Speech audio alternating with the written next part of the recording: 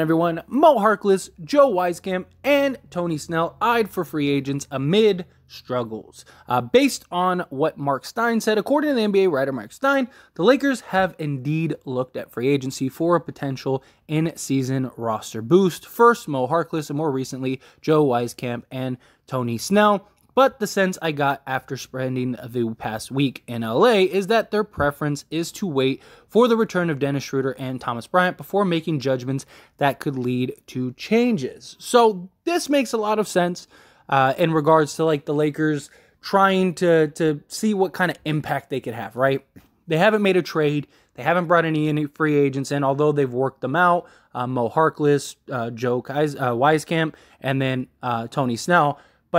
Clearly, they must have not have made a big enough impact to bring them in, or even if they did, you know what do you, what do you do? Do you do you bring them in and waive you know Wenyen Gabriel who's been solid for us, uh, you know Austin Reaves, who's been solid for us, Matt Ryan who won us a game and has been you know a, a consistent three point shooter, um, or do you just kind of leave what you have and let Dennis Schroeder Thomas Bryant come in and see if they have an actual impact. Um, now, we'd all love a trade, right? We'd love even just a minor trade. Even if you're not trading Russell Westbrook, take Patrick Beverley, Kendrick Nunn, go make a move, especially with Schroeder coming back.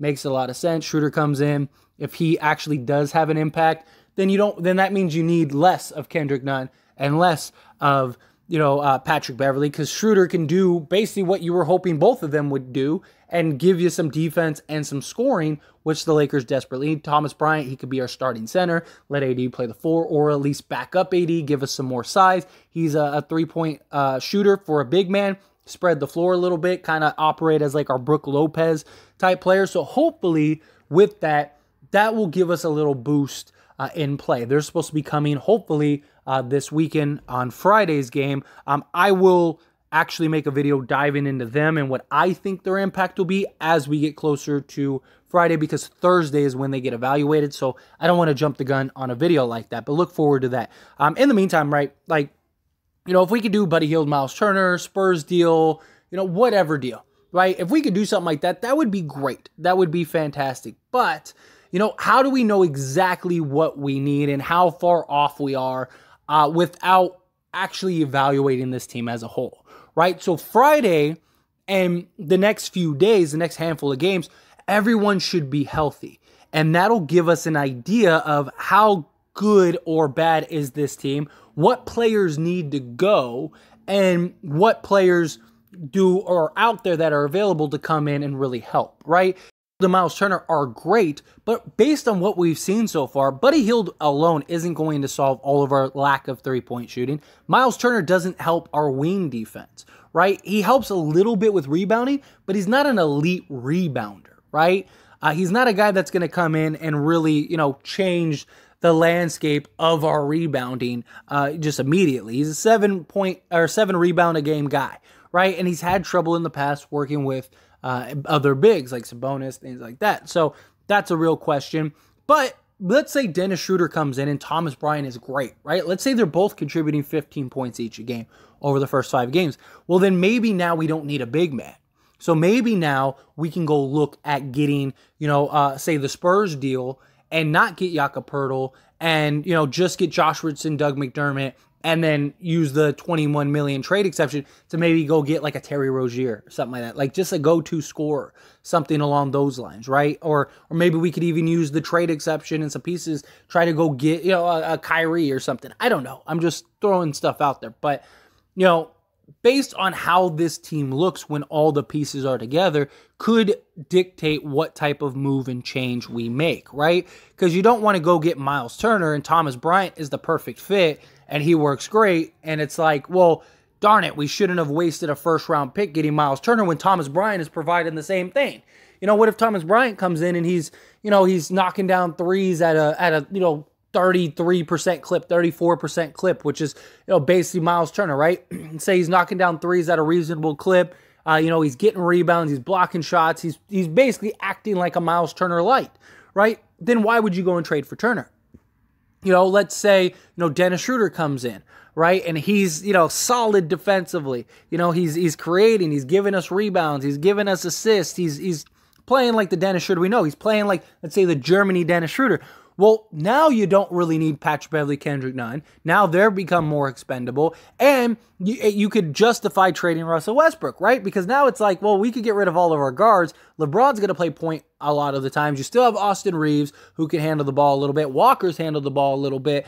You know, you you have Dennis Schroeder who could do that. Well, now let's go get let's go turn all of our our guards into wings. You know, it just opens the door for more potential and more possibility right? Instead of the Lakers just rushing to go get a trade done, which don't get me wrong, I do believe we need. But with Dennis Schroeder and Thomas Bryant coming back, if they can get in the swing of things and we can rattle off some wins and they look good, maybe we don't need as many players or as as big of a turnaround as it seems. Because like right now, looking at the Lakers roster, plethora of guards, right? And the question is, is which ones are expendable? Right now, Kendrick Nunn obviously is the most expendable, but do we really need Patrick Beverley for his defense, or can we get away with getting off of him and Dennis Schroeder providing the same defense that Patrick Beverley is? Now he becomes more expendable. Also, looking at this roster, it looks like we need three, four, maybe five guys, right, to really turn this season around. Like we need almost a whole roster rehaul. But what if Dennis Schroeder and Thomas Bryant are now two of those guys that we need that can come in and provide a solid punch? Well, now you have two guys. Now, instead of us needing four or five guys, maybe now we only need one or two guys to come in and really make an impact. Because now you got Walker, you got Schroeder, you got Bryant, you got Davis, you got LeBron, you got Westbrook, you got, you know, you got Austin Reaves, you got Troy Brown, you got you know, you got five, six, seven, eight guys that can all give you 10 points a game consistently. And then you also have your stars, right? Because right now, it is Walker, it is Walker, Troy Brown, Austin Reaves, LeBron James, Anthony Davis, and Russell Westbrook.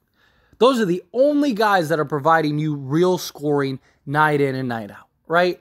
So you basically have your your big three and then Walker, Brown, and Reaves are doing the bulk of our scoring. You know, Gabriel's had a couple nights where he's really chimed in, stuff like that. But for the most part, it is our big three and those three guys. Now, if Schroeder comes in and he could be a guy that gives you 15, well, now you have the big three. Now you have four guys. Thomas Bryant comes in and he could give you 10 to 15. Now you have the big three. Now you have five guys. So now you legitimately have an eight man rotation that you know can come in and contribute, play defense, give you a scoring punch. Let's go get one more starting level player.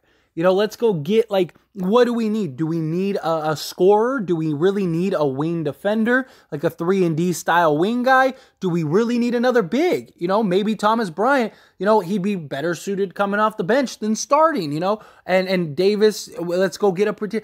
It just opens the door for more guys. Because look, Damian Jones has been terrible for the Lakers. Uh, Wenyen Gabriel, like I said, has been fantastic. He's just really undersized. And that really hurts because I really like what we've seen from Wenyen Gabriel this year. His hustle is much needed. But when you don't have other bigs, it, it, it becomes a problem. And we are an Anthony Davis injury away from being god awful once again, which is Again, part of the concern. So Damian Jones has just not been the answer. Hopefully, Thomas Bryant can come in and be a bit of the answer and really kind of bolster this this uh, you know front court. And then you could have Wenyen Gabriel play in spots. You know, Thomas Bryant can also shoot the three, so you could have him play in spots. It just gives us the opportunity to really sort sort of explore the proper trades, like get very targeted in trades and see like are we are we really a player or two away? You know, are we really uh, one or two guys away from being a contender? You know, and actually being there, right? Because we're in all these games for the most part. Outside of like a couple games, we've been in all of them, and most of them we should have won, right? So now you're looking like, okay, can Dennis Schroeder and Thomas Bryant come in and contribute? You know, I'm not saying that the two of them are going to immediately make us a title contender. No, but do they make us that do they make us better, right? And how much better? You know, because you add an extra 30 points, an extra, you know, 11 rebounds and an extra, you know, two blocks and two steals and, you know, 10 assists between those two guys, then that's an impact, right?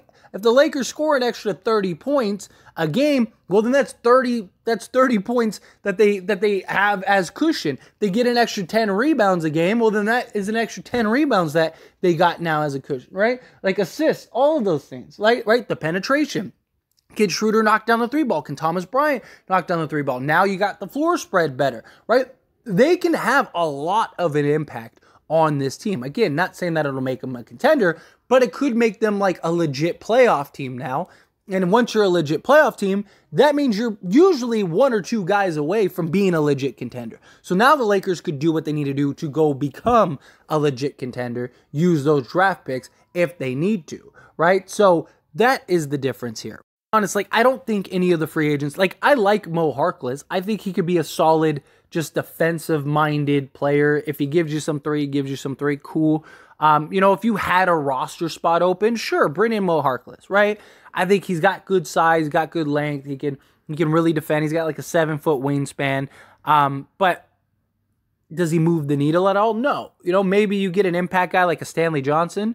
Maybe Mo Harkless can kind of be your, you know, your Stanley Johnson this year possibly, but even then, he wasn't like a huge needle mover. He just really, he just became a solid contributor that really helped. Uh, same thing, you know, with Tony Snell, right? Like Tony Snell is so inconsistent, right? He'll give you a perfect game, put up 29 points in the next game, play 28 minutes and give you zero points. It's insane. Um, but again, he's not a, really a needle mover. Like, you know, if we had a roster spot, why not? Give him a chance. Low risk, high reward type play. Um, I think Wiseman out of everybody, like if you were to choose any of them, it would be him. Just because I think he's young enough, you know, he's he's a shooter, right? He's got good size, got good length for a shooter. He's he's basically a Duncan Robinson, and he even kind of looks like Duncan Robinson, which is I think is funny. Like you look at some images, there's even like images comparing the two of them because they do look very similar. Um, you know, and your hope is that he kind of becomes a Duncan Robinson, where he's just like a solid three point shooter that can play in pinches, play in spots, you know, kind of be your Matt Ryan. Now you got Matt Ryan and you got this guy. You know, I would give him the be- the the chance just because, you know, like I said, he's young, shooting, all of that stuff. He could be a gem if it doesn't work out. You just let him go. You just cut him, right? That could be a huge benefactor, but I still think that none of these guys are the answer, and you're better off seeing what you the next five games are all outside of the Suns should be very winnable. I do think the Lakers should still beat the Suns, but you should win at least you know three to four out of your next five, hands down. And so, based on how it looks with Dennis Schroeder and Thomas Bryant, especially if they're back Friday for that first game, that means you get a five game sample size to see what does Dennis Schroeder and Thomas Bryant look like, and now you ha- actually have a picture of what does this team as a whole look like. Do they just run the board and just run, you know, the Pistons, the Spurs, and the Suns out of the building? And it's like, man, like let's say we just smacked the Suns and we smacked the Spurs three straight times and we smacked the the Pistons. Like, yeah, you could look at it as like, well, you know, you played the Pistons and the Spurs, yeah, but it's hard to beat any team three straight times in a four game span. And we just beat them by an average of like 15 points, right? And then, you know, the Phoenix Suns, man, that's a team that, you know, they're the best in the West, and we just beat them by 15 points. And Dennis Schroeder and Thomas Bryant had a huge part of that, right? It gives you kind of a better idea and understanding of what to expect. But anyway, as always, is a discussion, so I want to hear from you. Let me know your thoughts and opinions down in the comment section below.